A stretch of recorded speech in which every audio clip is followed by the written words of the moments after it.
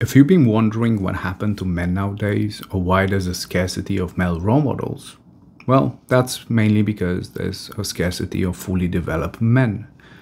Uh, let me try my best to explain why. To understand this phenomena better, we will move away from humans for a bit and go to nature.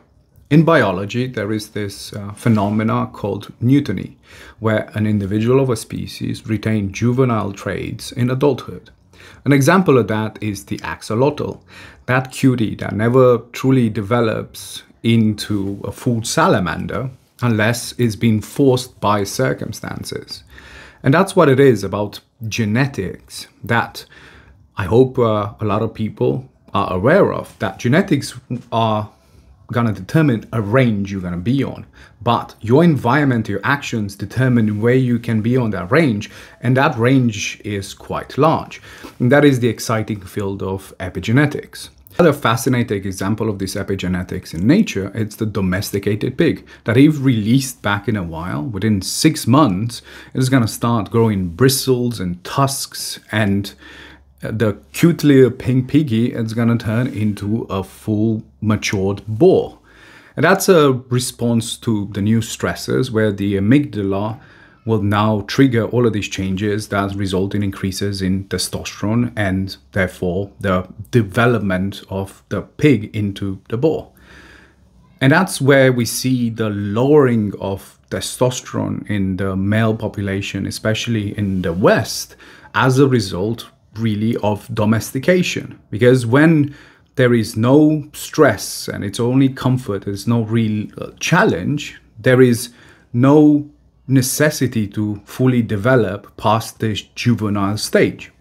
You heard that the average man nowadays has a lower level of testosterone, and it is a result of our environment. Similar to the domesticated pig, unless put into an environment where you're going to have this triggers to fully develop, you are not going to get the testosterone necessary to do so. And it might sound like a good thing because there's a lot of misrepresentation of testosterone that people think that is about aggression and you know just muscles and beards.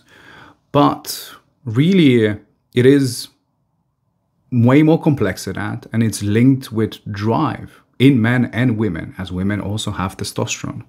And in men and women, you'll find that testosterone is a driver to find a mate, the driver for hard work in general.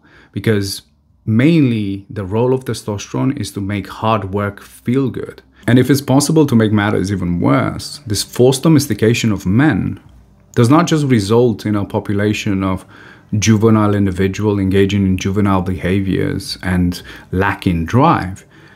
And with the scarcity of fully developed males that can provide guidance, you're also creating a dangerous environment for women. And we can see another example of this in nature in our cousins, the orangutans, where you're going to see the distinction between the fully developed males, as they will have flanges as a result of this increased level of testosterone, and the rest of the males, despite them being adult, looking similar or really the same with females. And those physically underdeveloped males approach to reproduction, it's rape. And that's not something that happens if the fully uh, developed males are around. And this is the behavior that tracks in humans too.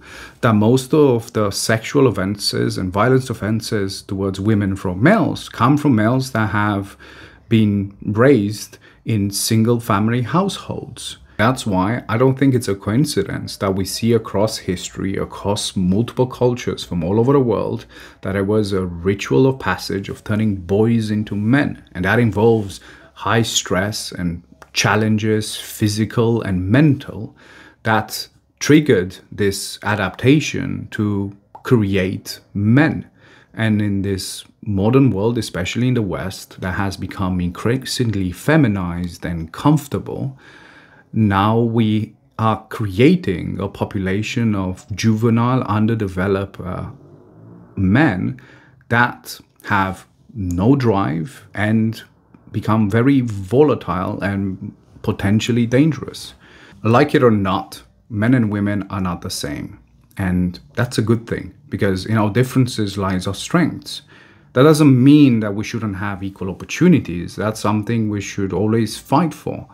But we also need to not erase millions of years of evolution and those very important genetic and biological differences that we can enable the best outcome. We have to drop the ego and acknowledge that boys have different requirements for their development, and it's not this forced domestication that obviously results in weak, sick, juvenile individuals that tend to be dangerous for women as well and really make the world a harder place to live in. Just something to consider. Protect your peace.